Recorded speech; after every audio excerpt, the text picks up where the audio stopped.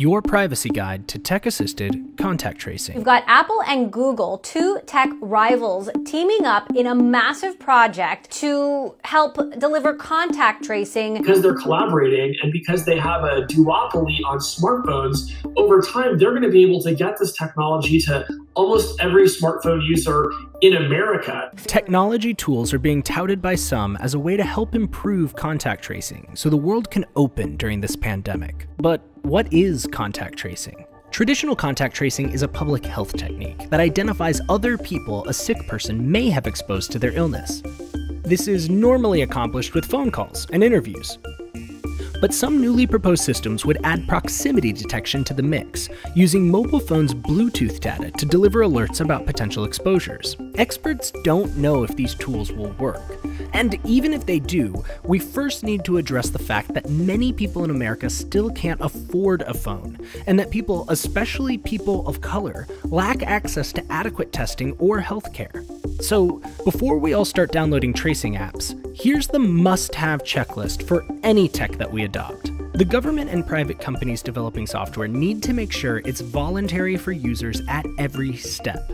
Not everyone carries a phone or uses Bluetooth, and not everyone should have to. If someone is told of an exposure, then whether and how they react needs to be voluntary. For example, governments need to make clear that using an app is not a condition for housing or a job. It should be voluntary. The app should not be used for anything other than public health, so it should not be used to fight crime, or conduct immigration enforcement, or even force a quarantine. The tech is only useful if people actually use it, so the government and tech companies need to establish trust from the outset. Again, trust is key. The government and private companies need to take every measure to ensure people's personal information is not vulnerable.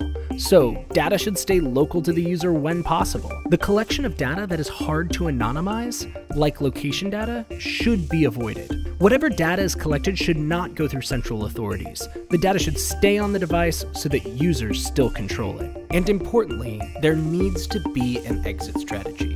If the pandemic is declared over or the tech isn't effective, then the app needs to have an off switch. And the off switch needs to be built in and public to avoid any surveillance creep.